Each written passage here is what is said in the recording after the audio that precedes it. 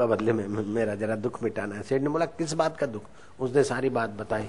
सेठ ने मत्था कुटा, बोले, मैं और सुखी, इनकम टैक्स का टेंशन दिन रात रहता है।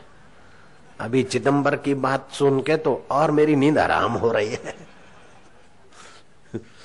और सतपाल जी महाराज भी ऐसे ही बोलते व्हाइट मनी करा लो व्हाइट मेरी नींद आराम हो गई जयराम जी की और तू मेरे को सुखी मानता है। रॉन्ग नंबर है। दूसरी बात है, छोरे, मुफत का मिल गया, उड़ाते हैं। और मेरे को नींद नहीं आती है। मुनिम चैन से सोते हैं। बिगड़ेगा तो हमारा बिगड़ेगा उनके बाप का क्या जाए? लड्डू खाने तो नौकर नौकरानी खाते और मेरे को डायबिटीज़ है यार। और मेरे को सुखी मानते हो। कहा, बोले, फिर दूसरा कोई? दूसरे, तीसरे जो भी सेठ थे, उनके पास बोले, जरा सा डीएम ऑर्डर करता है तो हमारे नाक में दम आ जाता है। जरा सा एसपी जरा नाराज़ हो जाता है तो हम सेठों को परेशानी हो जाती।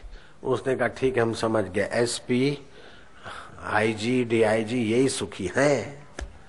वो उनके जूते उठा ले उठाने सबने अपना अपना दुखड़ा रोया कि कब कौन सी सरकार बदले और हमारा बोरी बिस्तर बदल जाए। यार, हम हम सुखी कैसे?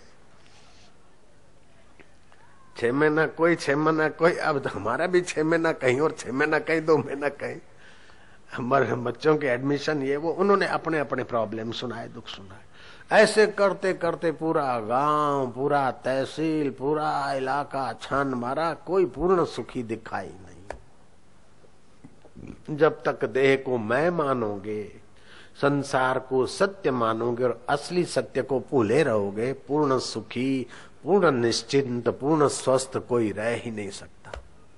और जीवन की मांग है पूर्ण स्वस्थ, पूर्ण सुखी और पूर्ण सम्मानित जीवन। ये जीवन की मांग है। किसी भी जाति का, किसी भी मज़हब का, किसी भी धर्म का व्यक्ति हो स्वस्थ जीवन, सुखी जीवन और सम्मानित जीवन चाहता है, लेकिन गलती ये करता है कि इस नकली के द्वारा चाहता है। असली में टिक जाओ, फिर नकली अपने आप ठीक चलेगा। तुम अपने असली शरीर को ठीक चलाते तो परछाई उसी ढंग से चले, चलने को बाध्य है। लेकिन परछाई के अनुरूप तुम चलते हो तो न परछाई सुखी, न आप सुखी। ऐसे इस शरीर को मैं मानकर बदलने वाले मन को और बदलने वाले बुद्धि के निर्णय को मैं मेरा मानकर आप चलते हो तो चलते चलते जुग बीत जाते कबीर ने कहा, भटक मुआ पेदू बिना पावे कौन उपाय? भटक मुआ भेदू बिना पावे कौन उपाय? खोजत खोजत युग गए, पाँव कोस घर आए। स्वस्थ जीवन, सुखी जीवन, सम्मानित जीवन को खोजते खोजते युग बीत गए, लेकिन पड़ा है यही। दिल्ले तस्वीरें है यार, जबकि गर्दन झुका ली और मुलाकात कर ली। वे थे न मुझसे दूर, न मैं उनसे दूर था। आता न था नज़र तो नज़र का कसूर था। वो निगाहें नहीं थी, वो दृष्टि नहीं थी। नज़रें बदली तो निजारे बदले। किश्ती ने बदले, रुख तो किनारे बदले हैं। केवल नज़र बदल जाए तो किनारा मुक्ति का आ जाएगा। किश्ती थोड़ा रुख बदल दे बस। आपके पास जो योग्यता है, बहुत है। जो कुछ है, पर्याप्त है। मुक्ति के लिए और कुछ पाना नहीं है, ढेर करना नहीं, कुछ छोड़ना नहीं, आप जहाँ है वहीं से। अगर केवल थोड़ा सा रुख बदल दे, एंगल थोड़ा सा बदल दे दोनों गाड़ियाँ खड़ी है देहरादून स्टेशन पर। एक थोड़ा सा एंगल बदल जाती तो हावड़ा पहुँच जाती। और दूसरी पहुँच जाती महाराज, बंबई। अब मुंबई और हावड़ा में इतना अंतर हो जाता है दुम से चलते अब जयराम जी बोलना पड़ेगा। टर्मिनल नंबर तीन पर जहाज़ खड़ा है। उसी दिशा में और टर्मिनल नंबर तीन पर थोड़ी देर के बाद दूसरा जहाज़ खड़ा रहता है। दोनों उसी रनवे पे उड़ान भरते हैं। एक पहुँच जाता है पूर्व और दूसरा पश्चिम पहुँच जाता है। थोड़ा सा एंगल बदलते हैं। ऐसे ही जिन्होंने नकली मैं का एंगल रखा है तो एक तो जन्म मरण में और दुखों में, व्याधियों में, परेशानियों में पहुँच जाते हैं। दूसरे सुख, सुविधा माधुर्य आनंद और भोग, मोक्ष को भोगते हुए पर ब्रह्म परमात्मा तक पहुँच जाते हैं। प्रश्न, ये सब तुम्हें लीला करने की क्या ज़रूरत है? तुम्हें कोई बेटा बेटी चाहिए या धन माल चाहिए या तुम्हें तो ये नकली अहम में तो कुछ चाहिए नहीं। और असली को तो तुमने पाया हुआ है। फिर ये हमारे पैर धोने की ये सारी लीला क्यों करते हो केशव? हम तुम्हें जानते हैं। श्री कृष्ण ने कहा, भागवत का दसवा स्कंद चौरासीवा अध्याय, बारहवा और तेरहवा श्लोक आप देख लेना भले। श्री कृष्ण ने कहा कि पचास वर्ष की निष्कपट भक्ति से भी हृदय का अज्ञान नहीं जाता, लेकिन दो घड़ी तुम्हारे जैसे महापुरुषों की सेवा से हृदय का अज्ञान मिट जाता है, इसलिए मुझे चरण धोने दो।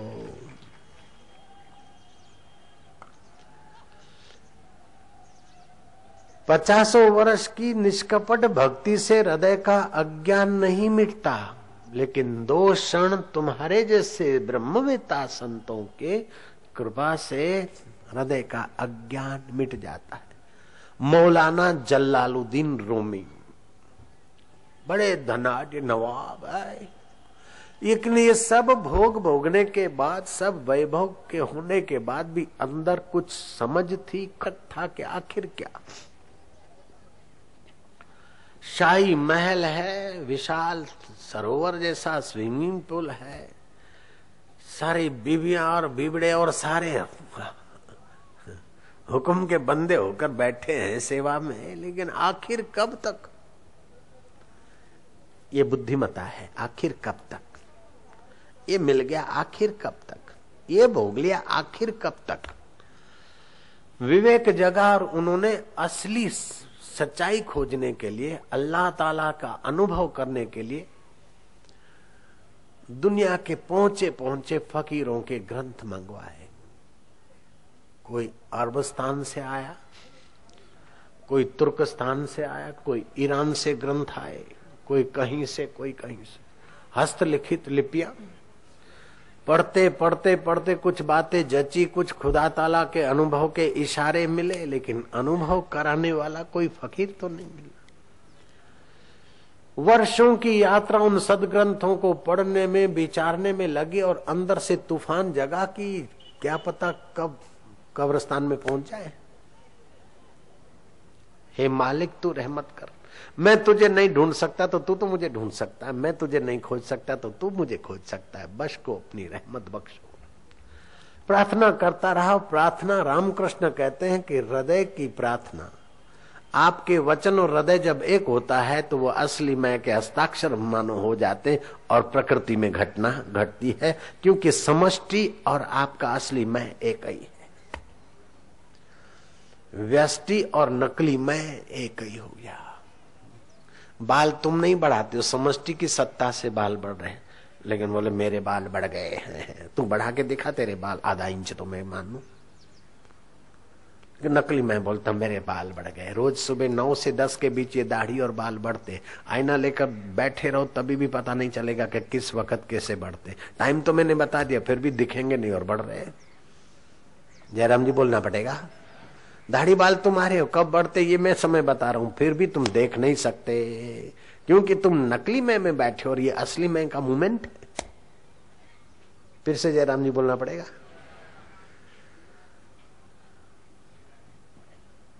आप जो भोजन करते हो, उसके तीन हिस्से हो जाते हैं। एक सात्विक हिस्सा, जिससे मन बुद्धि को पोषण मिलता है। राजसी हिस्सा मांसपेशियों को, रक्त को पोषण मिलता है। और तीसरा हिस्सा जो है, सवेरे रोज खाली हो जाता है। अभी जो बैठा है, मैं फलाना आशाराम महाराज हूँ, मैं फलाना भाई हूँ। ये वास्तव में आपने आपने जो खाया, उसमें से सार सार कण एकत्रित हुए।